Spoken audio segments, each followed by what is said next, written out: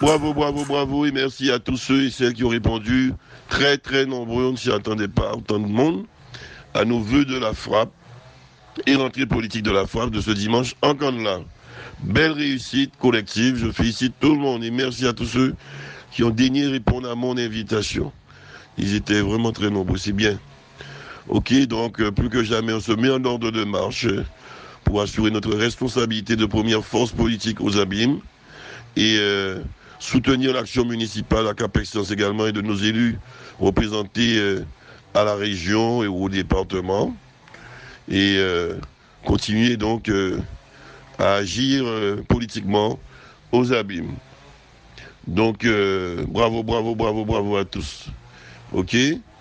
Et euh, les absents ont eu certainement tort. Mais vous étiez très très nombreux, c'est ce qui compte. On a dû même aller chercher les chaises, c'est formidable. Allez, merci encore une fois à tous. Merci de votre présence. Remarquable et remarqué. Votre président, maire des Abîmes et président de Cap Excellence. Le président de la frappe, Éric Jalton.